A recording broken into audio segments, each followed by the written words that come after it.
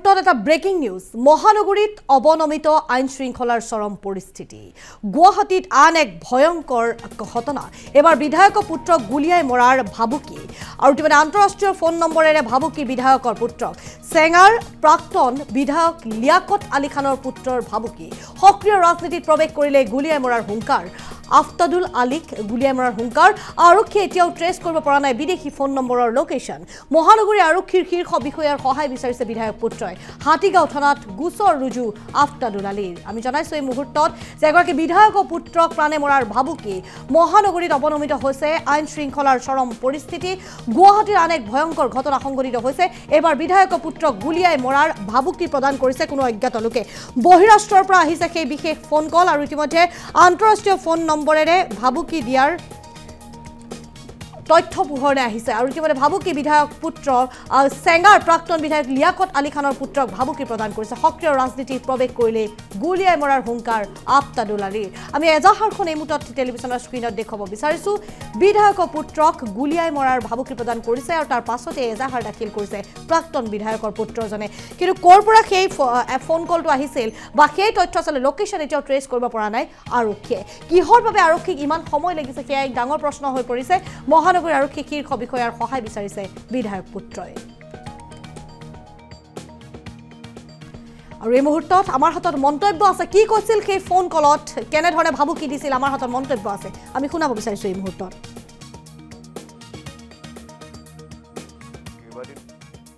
ফোনত অচিনাকি নাম্বাৰ কেইটামানৰ পৰা ফোন আহি আছে। আৰু মই হঠাৎ এদিন এই অচিনাকি নাম্বাৰটোৰ পৰা- পৰা ফোন আহিছে মই ৰিচিভ কৰোঁতে মোক ফালৰ পৰা সুধিছে যে আপুনি কি ex M L A Liaqat Ali খানৰ ল'ৰা আফতাদুৰ আলী খান হয় নেকি? মই যেতিয়া কৈছোঁ হয় সিফালৰ পৰা কৈছে যে আপুনি আপোনাৰ দেউতাই যি ৰাজনীতি কৰিলে কৰিলে। গতিকে আপুনি যদি ৰাজনীতিৰ পথাৰত আহে বা আপুনি যদি ৰাজনীতি কৰে আপোনাক যদি ৰাজনীতিৰ পথাৰত দেখা পাওঁ আপোনাক গুলীয়াই মাৰা হ'ব। এইখিনি মোক কৈছে আৰু কোনকেইটা ফোন নম্বৰৰ পৰা আহিছে কল? কল আহিছে plus eight eight eight one eight seven one zero' eight eight eight zero' আৰু eight eight three four two three three eight six three eight ইণ্ডিয়াৰ নম্বৰ নহয়। ইণ্ডিয়াৰ নাম্বাৰ নহয়। মই ভাবুকিটো পোৱাৰ লগালগ মই হাতীগাঁও থানাত এখন এজাহাৰ মই ৰুজু কৰিছোঁ আৰু হাতীগাঁও থানাই মোক ইতিমধ্যে জনাইছে যে এইকেইটা নম্বৰ আমি ট্ৰেছ কৰিবলৈ পৰা নাই। গতিকে মই এইকেইদিনে মই নিৰাপত্তাহীনতাত ভুগি আছোঁ। আৰু প্ৰশাসনক মই আহ্বান জনাইছোঁ যাতে এই যিসকল মানুহে বা যি- নম্বৰৰ পৰা মোক ফোন কৰি মোক ভাবুকি দিছে সেইসকল মানুহৰ ওপৰত যাতে বিহিত ব্যৱস্থা লয় আৰু মই যি নিৰাপত্তাহীনতাত ভুগি আছোঁ তাৰ বাবেও যাতে কিবা এটা কৰে। আৰু মই সেইসকল মানুহক সকীয়াই দিব বিচাৰিছোঁ যিসকল মানুহে এনেকুৱা তাচ্ছিল্য কাম কৰিব পাৰে। আৰু এয়া আছিল বিধায়ক পুত্ৰৰ মন্তব্য। প্ৰকৃততে ঘটনাটো কি হৈছিল সেয়া জানিবলৈ আমি এই মুহূৰ্তত পোনপটীয়া সম্প্ৰচাৰ যাব বিচাৰিছোঁ। আমাৰ সৈতে আছে জ্যেষ্ঠ সতীৰ্থ ধৃতিৰাজ কলিতা। ধৃতিৰাজ পোনপটীয়াকৈ আপোনাৰ ওচৰলৈ আহিছোঁ। ইতিমধ্যে উল্লেখ কৰিছোঁ যে মহানগৰীত অৱনমিত এতিয়া আইন শৃংখলাৰ চৰম পৰিস্থিতি। খুদ প্ৰাক্তন বিধায়কৰ পুত্ৰকে এতিয়া ভাবুকি ভৰা এক ফোন কল। বহিৰাষ্ট্ৰৰ পৰা সেই বহিৰাষ্ট্ৰৰ নাম্বাৰ আহিছিল ফোন কলৰ জৰিয়তে কিন্তু ক'ৰ পৰা আহিছিল আচলতে সেই লোকেশ্যন এতিয়াও ট্ৰেছ কৰিব পৰা নাই আৰক্ষীয়ে। সমগ্ৰ ঘটনাটো আপোনাৰ জৰিয়তে জানিব বিচাৰিছোঁ। আৰক্ষীৰ কি ভূমিকা? ধৃতিৰাজ কলিতা। ময়ূৰী চাওক এই মুহূৰ্তত সাধাৰণ নাগৰিক মহানাগৰিকৰ কিমান সুৰক্ষা মহানগৰীত আছে সেই কথা বাৰম্বাৰ প্ৰশ্ন অৱতাৰণা হৈ আছে। কিন্তু এই সময়ত এটা ভয়ংকৰ আগজাননী গুৱাহাটী মহানগৰিকৰ বাবে বুলি ক'ব লাগিব। খুদ গুৱাহাটী মহানগৰীতে বাসগৃহত ইতিমধ্যে উপস্থিত থকা এগৰাকী প্ৰাক্তন বিধায়কৰ পুত্ৰ যিগৰাকী চেঙাৰ প্ৰাক্তন বিধায়ক যিগৰাকী লিয়াকত আলী খান লিয়াকত আলী খানৰ পুত্ৰ আফতাদুৰ আলী খানক ইতিমধ্যে কেইবাবাৰো আন্তঃৰাষ্ট্ৰীয় ফোন কলৰ পৰা ভাবুকি ভৰা ফোন কল আহিছে। তেখেতক গুলীয়াই প্ৰাণে মৰাৰ ইতিমধ্যে হত্যাৰ ভাবুকি ইতিমধ্যে আহিছে আৰু সেই ভাবুকিৰ পিছতে ইতিমধ্যে প্ৰাক্তন বিধায়কগৰাকীৰ পুত্ৰ আহি হাতীগাঁও আৰক্ষী থানাত উপস্থিত হৈছিল। চৌব্বিছ ঘণ্টা পূৰ্বে তেখেতে ইতিমধ্যে হাতীগাঁও আৰক্ষী থানাত গুলীয়াই প্ৰাণে মৰাৰ ভাবুকিৰ ইতিমধ্যে এটা গোচৰ ৰুজু কৰিছিল। কিন্তু এই মুহূৰ্তলৈকে অতি লজ্জাজনক কথা আচলতে এগৰাকী V I P V V I পিৰ গোচৰ ৰুজু হোৱাৰ পিছতো সাধাৰণ ৰাইজৰ আগৰ দৰে আচলতে তেওঁলোককো ন্যায় প্ৰদান কৰিব পৰা নাই মহানগৰ আৰক্ষীয়ে।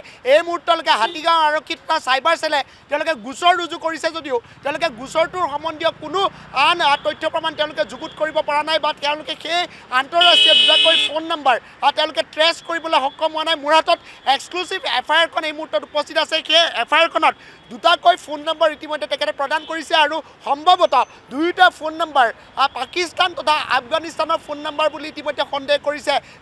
ভুক্তভোগী বিধায়ক পুত্ৰগৰাকীয়ে। সেই উল্লেখ কৰা এফ আই আৰত উল্লেখ কৰা ফোন নম্বৰ দুটা ক্ৰমাগত plus eight eight one eight seven one zero' triple eight zero' আৰু plus eight eight three four two three three eight six three eight এই দুয়োটা ফোন নম্বৰ আৰক্ষীক তথ্য প্ৰমাণ সহকাৰে কল ৰেকৰ্ডিং সৈতে ভুক্তভোগী বিধায়ক গৰাকীৰ পুত্ৰই ইতিমধ্যে আৰক্ষীক প্ৰদান কৰিলে। কিন্তু চৌব্বিছ ঘণ্টা উকলি যোৱাৰ পিছতো এই মুহূৰ্তলৈকে ফোন নম্বৰ দুটা ট্ৰেছ হোৱা নাই। এতিয়ালৈকে চাৰিবাৰকৈ বিধায়ক পুত্ৰগৰাকীক প্ৰাণে মৰাৰ ভাবুকি দিয়া হৈছে।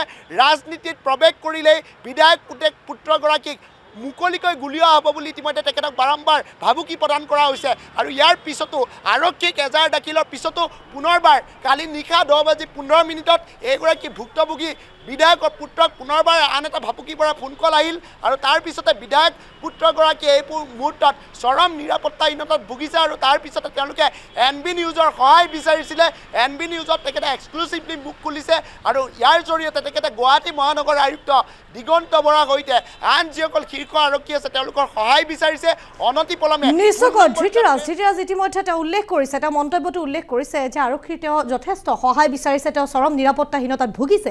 কিন্তু এই মুহূৰ্তত জানিব বিচাৰিছোঁ বিষয়টো যদি অকণমান দকৈ চোৱা যায় ধৃতিৰাজ কলিতা বহিৰাষ্ট্ৰৰ পৰা আহিছিল এটা ফোন কল সেই ফোন কলটোৱে ধমকি বা ভাবুকি দিছে যে আপুনি ৰাজনীতিত যোগদান কৰিলেই প্ৰাণে মাৰিম। অৰ্থাৎ বহিৰাষ্ট্ৰৰ কোন ব্যক্তিৰ সেই প্ৰাক্তন বিধায়কগৰাকীৰ পুত্ৰই ৰাজনীতিত অসমৰ ৰাজনীতিত যোগদান কৰাক লৈ কিবা সমস্যা থাকিব পাৰে? নিশ্চয় এই কৌশলগত ষড়যন্ত্ৰ অসমৰ কোনো ৰাজনৈতিক প্ৰেক্ষাপটৰ পৰা আৰম্ভ হ'ব পাৰে। অৰ্থাৎ অসমৰ কোনো লোকক তেওঁ সন্দেহ প্ৰকাশ কৰিছে নেকি সন্দেহ কৰিছে নেকি বা প্ৰথম সন্দেহ তেওঁ কাক কৰিছে পূৰ্বৰে পৰা এই ৰাজনৈতিক শত্ৰুতা কাৰোবাৰ সৈতে আছে নেকি? ধৃতিৰাজ কলিতা।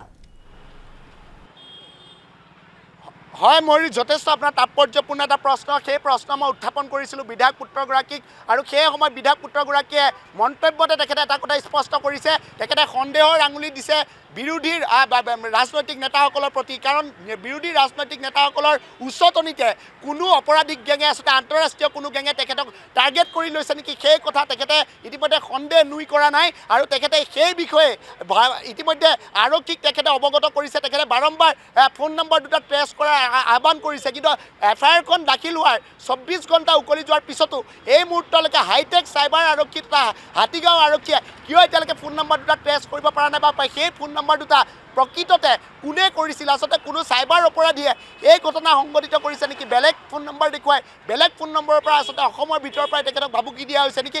এনে কিছু প্ৰশ্ন কিন্তু উত্থাপন হোৱাটো দেখিবলৈ পোৱা গৈছে। কাৰণ এটা অতি ৰহস্যজনক বিষয় যদি ফোন কল দুটাত চাৰিবাৰকৈ তেখেতক ভাবুকি আহিছিল ইয়াৰে দুটা ফোন কল হিন্দী ভাষী আছিল আৰু দুটা ফোন কল কিন্তু অসমীয়া ভাষী আছিল। গতিকে আন্তঃৰাষ্ট্ৰীয় এটা ফোন কলত কেনেধৰণে অসমীয়াত তেখেতক ভাবুকি দিলে ইয়াৰ আঁৰত আচলতে কোনো উজনিৰ কোনো ব্যক্তি জড়িত আছে নেকি? তেখেতে অফ কেমেৰা কেইবাটাও মন্তব্য কৰিছিল তেখেতে এটা কথা কৈছিল তেখেতৰ যি ভাষা তেখেতে শুনিছিল অসমীয়া ভাষাত তেখেতক যিহেতু দুটা ফোন কলত তেখেতক ভাবুকি দিয়া হৈছিল সেই ভাষা তেখেতে উজনিৰ হ'ব পাৰে বুলি তেখেতে সন্দেহ ব্যক্ত কৰিছিল। আৰু সেই বিষয়ে ইতিমধ্যে ভুক্তভোগী পুত্ৰগৰাকীয়ে বিধায়ক পুত্ৰগৰাকীয়ে হাতীগাঁও আৰক্ষী থানাত ভাৰপ্ৰাপ্ত আৰক্ষী বিষয়াগৰাকীক তথা চাইবাৰ চেলক তেখেতে অৱগত কৰিছে। কিন্তু তাৰ পিছতো আৰক্ষীৰ চাইবাৰ চেলে এই নম্বৰ দুটা ট্ৰেছ যিমান তৎকালে আচলতে সেই ফোন কল দুটা ট্ৰেছ কৰিব লাগে সিমান তৎকালে আৰক্ষীয়ে ট্ৰেছ কৰা নাই। ইতিমধ্যে আপুনি উল্লেখ কৰিছে আৰু লগতে আন এটা অতি তাৎপৰ্যপূৰ্ণ বিষয় সেই বহিৰাষ্ট্ৰৰ ফোন নম্বৰৰ পৰা উজনিৰ অসমীয়া ভাষাত কথা পাতিছে কোনো অজ্ঞাত লোকে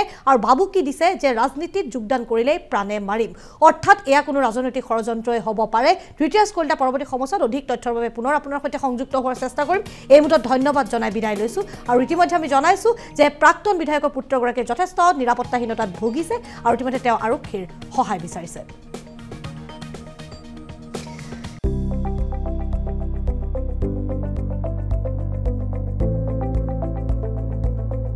এন বি নিউজ সহজ সৰল ভাষাত নৱভাৰতৰ কথা।